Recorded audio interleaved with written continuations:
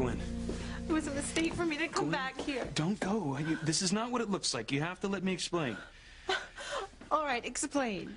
Teresa was coming down the stairs and she tripped. She was falling and I caught her. You could have come up with something more plausible if you cared. Obviously, you don't care. Gwen, you know that's not true.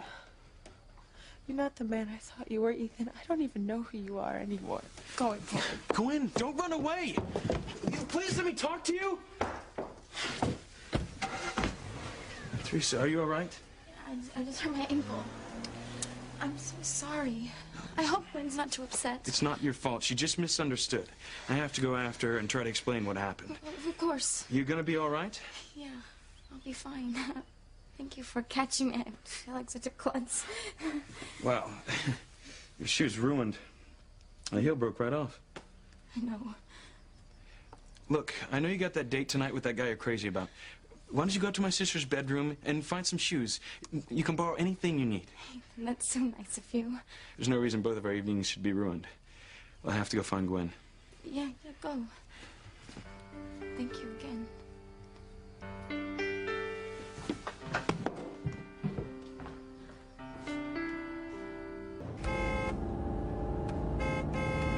Come on, Gwen. Pull over. We have to talk. Oh, all right, all right. Finally.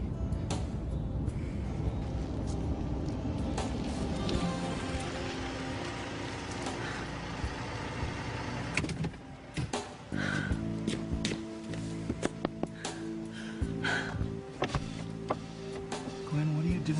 Just go away, Ethan. I don't want to talk about it, okay? Will you please let me explain? No, I know the explanation. You find the lovely Teresa irresistible. It's not true.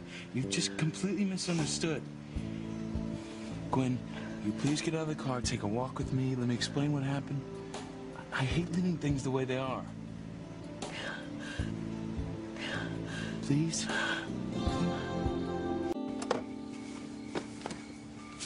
Certainly didn't take you long to get Teresa in your arms. Someone you claim you don't care about. I don't care about her, not like that.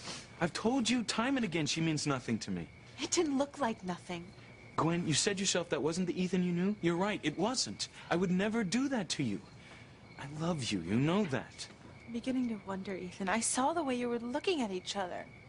She fell, I caught her. I was worried that she might have hurt herself, that's all. Oh, and I'm sure her falling was a total accident. It was. Look. You see? This is her shoe. Her heel broke right off. That's How why she fell. How convenient. Happened just when I walked back in. You can't think she did that deliberately. I don't know what to think anymore. Well, whatever you're thinking about Teresa and me, just stop it. There's nothing going on.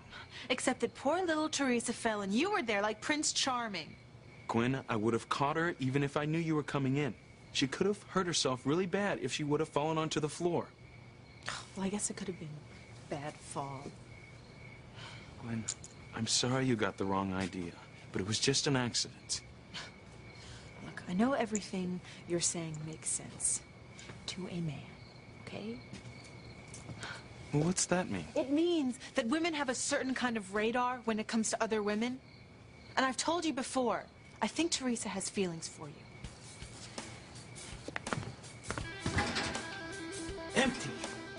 Unbelievable. Not a copy of the Herald anywhere. I'm beginning to wonder now if you have feelings for Teresa too. Gwen, that is utterly ridiculous. Is it? Because I think I have very good grounds to be suspicious. Well, you're not being suspicious. You're being idiotic. Oh, thank you very much.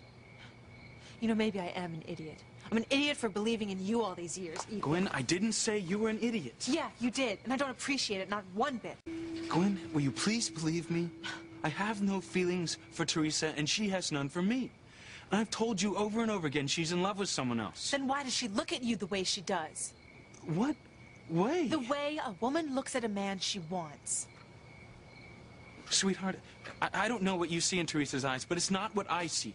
She has a guy. Who?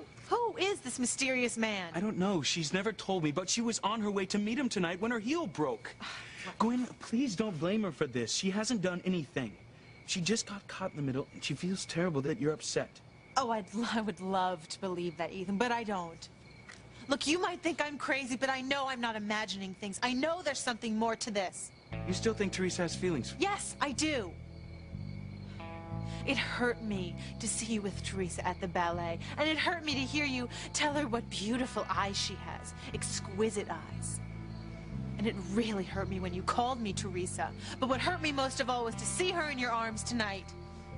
And her fall might have been an accident, Ethan, but my intuition tells me that when she was in your arms, she was exactly where she wanted to be. Gwen, I don't know what else I can do to convince you you're wrong about Teresa. I don't know either. Well, what I do know is that I love you, only you. You're the only woman I want to be with for the rest of my life, and I don't want this misunderstanding to come between us. Please, come back to the house. We'll finish dinner and talk. Let me make love to you. No, no. This is not the right time. Yes, it is. This is the way it should be. I can't. I, I have to think. Then come back to the house. At least we can talk. There's nothing more to say. I just want to be by myself, okay?